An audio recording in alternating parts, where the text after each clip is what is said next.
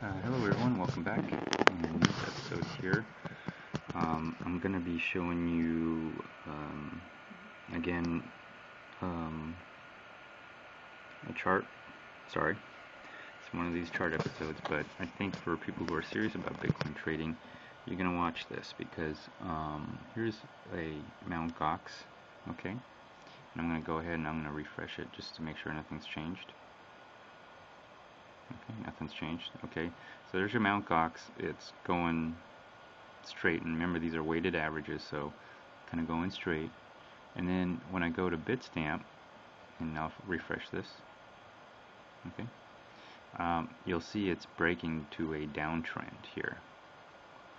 And now when you watch BTC-e, now refresh that, see if anything's changed a little bit. It's doing the same thing as Mt. Gox. And so you're seeing something here with the three different indices that can help you with the trade. So if um, uh, I'm looking at Bitstamp and I see a downtrend. If you look, and it's it's a pretty good downtrend if you look uh, if you if you go by the weighted average. So the way it works with a weighted average is the black line is uh, more accurate to where the price is because it's on a it's on a 10 you know, candlesticks average, weighted too. And then uh, the purple one is 25 weighted. So in other words, they, they react differently than the average. Um, it almost kind of almost gives you a future forecast. Uh, not by much sometimes. Uh, in this case, it's a 15 minute um, chart. So it, it, might give you a, a good 15 minute buy or sell signal before it actually uh, a price may actually move in that direction. So, um, but this chart is obviously deviating from even um, yeah BTC-e and also uh, Mt. Gox. So look at that. You're seeing a different trend with Bitstamp. So um, you know when you see some a deviation like this this could be a, a, a signal because this is downtrending.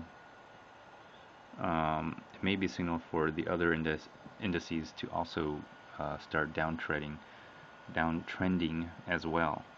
And see, as you see those two right there.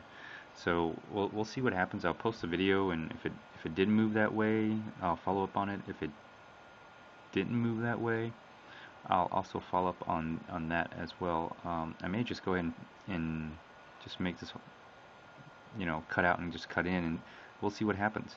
Again, this is uh, for people who, you know, serious traders here.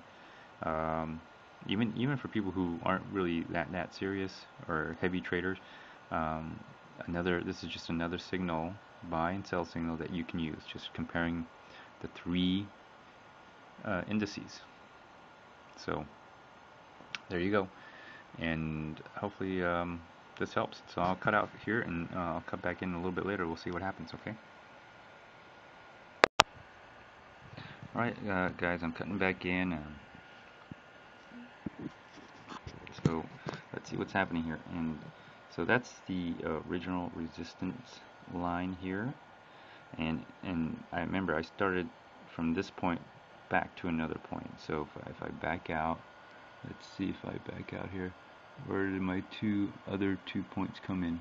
Okay, so my, my two point came from here to here, and that's where I got this line. Uh, you see, that's the top line. And this is where it's bouncing up right there, and if I zoom in, so basically from this point on, it's been doing skirting that resistance for the most part. You see it's just struggling and hitting up and struggling down. Now, here's an interesting thing that I'm seeing now. Remember the other graph or the other charts I was showing from the um, BitcoinCharts.com? Um, well, now I'm going to go through it real quick with on Bitcoin Wisdom, and you see it's dropping right now. Well, this has already been in decline. That's what we talked about. Bitstamp being different. But now, look at BTC-e. It's actually starting to also starting to decline now. Um, you see a big negative drop here. A little like a, a spike, similar to this, but not as much. But that's probably going to be the starting point. Um, see, BTC-e's already, uh, this is a Bitstamp, it's already been trending down anyway. And then what we've got here is finally probably Mt. Gox uh, eventually following suit after that. So, so if you pay attention enough to realize the pricing, and let's look at all, all three at what prices there are. Also look at the spreads in the price. Um, some of the things I've noticed is when when Bitstamp is the lowest, um, it tends to it tends to be a downtrending. Um, it's a downtrending for for all major, all the three major indices. So um, whenever BTC-e, let me see here, where's my mouse? Okay, whenever BTC-e is higher than Bitstamp, uh, prices are most likely going to be trending down. And in extreme cases, um, BTC-e will be the highest price, and then Mount Gox will be the lowest, especially on a mad sell-off.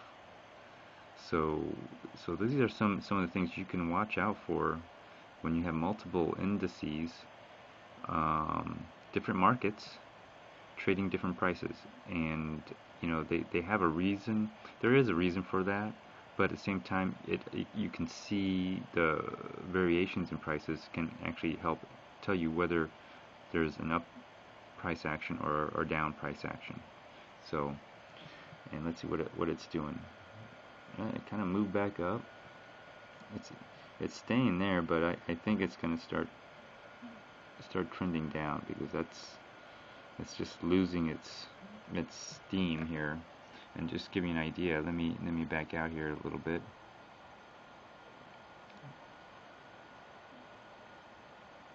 It, it really needs to and even on a regular average it seems to be losing some steam here.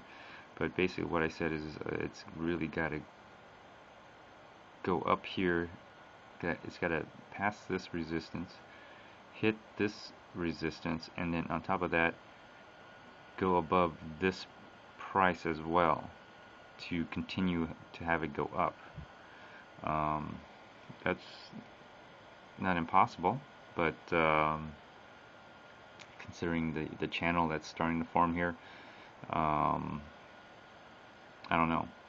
I have to wait and see. Either way, it works for me because I have bitcoins. So if it if it moves on the upside, um, yeah, more value to my Bitcoin. If it moves on the downside, I mean that's these are perfect times to go in and and buy bitcoins. So it's always good to have in your account some some cash and bitcoins where you can move them back and forth and like I said on downtrend um, you know just buy little spurts of $20 at a time um, because it's going to be going down all the time so if you're wrong on where it stops you know it's it's not a bad of a loss and you got you still got a good price anyways uh, I'll cut out here and maybe I'll, I'll, do one more cut in if not um, just tune in for the next one alright thanks Alright, I'm cutting back in here. Um, I've, I've, looked at some other charts, and this is from uh, Bitcoin charts here. And so uh, let's go back here. So this is Mount Gox. I'll go ahead and just update it so you could you could see it's it is update, and you can see the Mount Gox has not really moved into a downtrend. And so if I was trading Mount Gox and I'm at, I'm at this price, I would be like, okay, I I should probably sell because watch. If you look at some other here's Bitstamp, and like I said, it's been on that downtrend. And you look at that, the the uh, it it you could see the two weighted averages, and it's just going straight down. I mean, it's looks like, and this is already moved on the downside. And whereas you know now you're looking at BTC-e, and now you can start seeing that that down downward. Let me I'll go ahead and update it again. I mean, you never know. It's it's just 15. It can it can move upwards really fast. Oh, okay. well there you go so now this one's starting to cross and you could see that it's crossing and it's getting a wider gap. Just like you know on a down move and an up move you see this wide gap showing. So I'm, I'm starting to see some of that here and that's starting to form a, a downtrend there.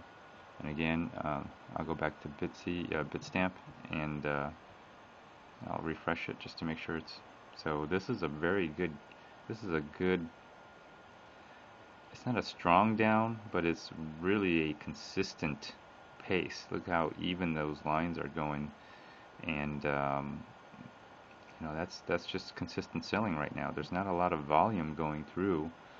Um, I'm not sure if everyone's pulling out of the market, afraid that some of these exchanges are going to be closed or what's going on, but the volumes has definitely changed. I've noticed that. And here's another. So uh, let's let's see if Mt. Gox has done anything. So there's my Oh, there you go. Look at that drop right there. It's starting on a downtrend now. And it's it's reacting to the other markets so, because most likely other people are doing the same thing I'm doing. I'm looking at the other markets. They they trade it, it trades 24/7. So um, right now I think um, well I don't know where people would be awake, um, but I'm I'm awake at night and at during the day. So, so this, uh, I'll, I'll wrap all this up together, and this is uh, just another way uh, where you can get buy and sell signals. Um, they have every one of these things I'm showing you. They have their pros and cons. Okay, uh, but together as a whole, you can you can really get a good feel of of how to trade uh, at the exchanges because there there'll be times where you know um, in in the real world, when you're trading, there there may be no action going on uh, for whatever reason. Okay, um, if that's the case, that's that's fine because re remember, I'm in it for the bitcoins. If I was in it for the money, I'd be pretty screwed. I'd be like, well, damn, what am I going to do now? My money's stuck uh, at the exchange, and I I can't do anything. So when you when you get into this trade, you really got to be in it long Bitcoin.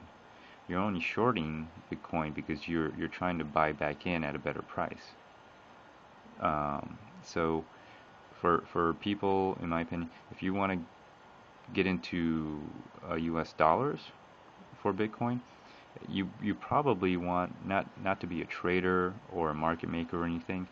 Uh, you would probably want to put money into mining rigs okay?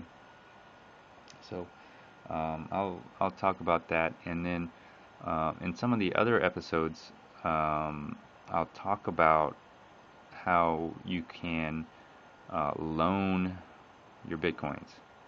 And you're not really loaning your bitcoin. You can never really loan your bitcoin. But you can do is um, I, I don't think you can actually loan your bitcoins in, in, in any way. It's not like you can make an IOU for a bitcoin to someone and then have that person come back with whatever a payment of an IOU and you know you give them the bitcoins or whatever. But uh, there's another way you you can you can loan a bitcoin. It's a little different, and I only recommend you do this with a friend.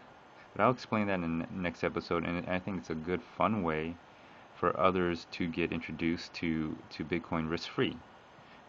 And the, I'm just going to give you a little heads up. It's it's you're going to be giving away bitcoins to your friends so they could have fun with it. Either they can buy something, a gift card, they can trade it, they can try to sell it peer to peer, um, and and I'll get into the next episode about it. But but uh, stay tuned. I hope you enjoyed this episode. I hope this helps uh, everyone out there who's trading Bitcoin to be uh, well. I hope you're all profitable. All right. So I hope you're you're not losing any money.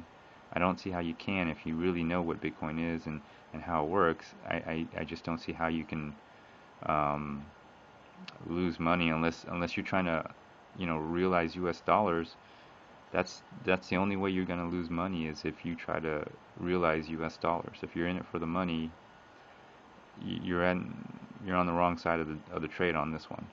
You got to be in it for the Bitcoin. So, uh, stu- uh, um, tune in for the uh, next episode. Bye now.